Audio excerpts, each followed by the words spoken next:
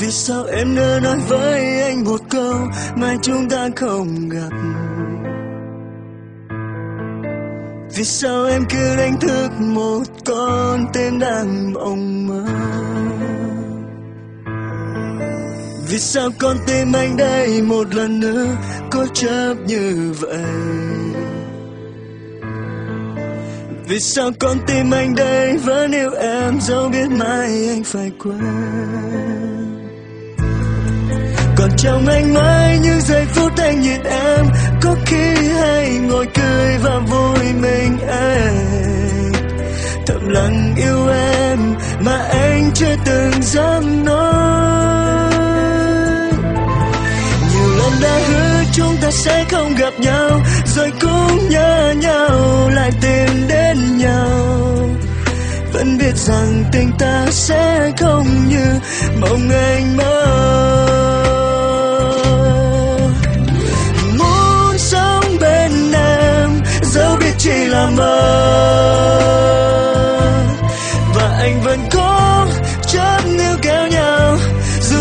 Sẽ đau. Đừng nói với anh rằng chúng ta đến vậy thôi. Và xin em chớ nói hết với anh, dù rằng em sẽ đi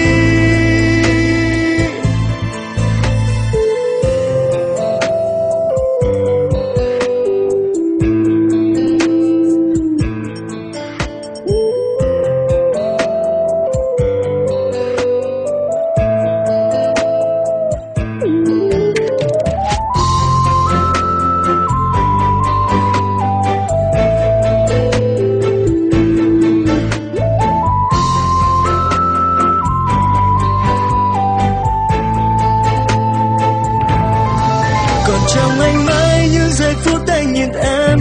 Có khi anh ngồi cười và vui mình anh. Thầm lặng yêu em mà anh chưa từng dám nói. Nhiều lần đã hứa chúng ta sẽ không gặp nhau, rồi cũng nhớ nhau, lại tìm đến nhau. Vẫn biết rằng tình ta sẽ không như mong anh mơ.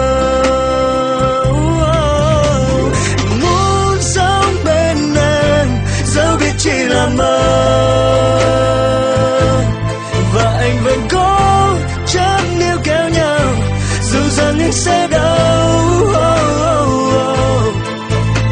đừng nói với anh rằng chúng ta đến vậy thôi và xin em chớ